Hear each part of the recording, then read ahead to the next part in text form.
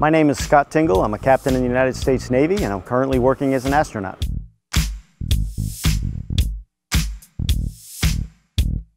I also worked in the United States Naval Reserve as an enlisted ordnanceman.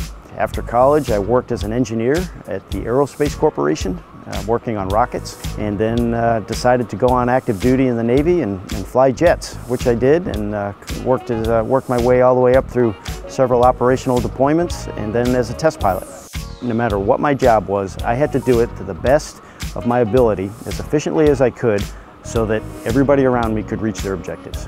When you're working in a team, it's not about you and your idea, it's about all the ideas and all of the direction. That's what makes the, the final result really shine. And to be able to do that, you have to be able to talk to each other very plainly, very straightforward, and understand each other. That takes a little bit of effort because you get two folks coming from different backgrounds and you got to slow down a little bit and you got to make sure you understand each other.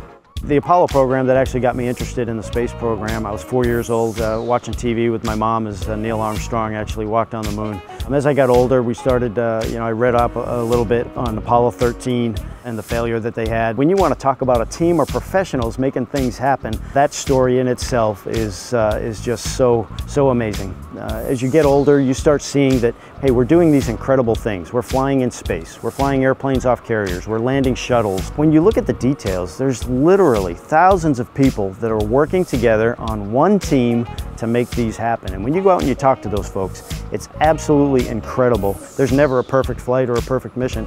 Uh, you just, you have to be there to, to let the team hold you up. And, uh, and we do that very well. You just got to let your, your friends help you. Um, and if they see you, they're going to be right there to help you anyways. And if they're not, you have to ask for help. And it's uh, nothing uh, um, shameful about that. It's part of being human. You know, we have human spaceflight, we have humans in aviation. You cannot have any of that without human error. Use that failure as a learning point. Figure out what you did wrong, do it differently to get a good result, and then move on. That process is what's going to make you successful, not the fact that you got it right. It's the process that you're learning because that's what's going to get you through all of your life challenges and your life obstacles that you're going to meet.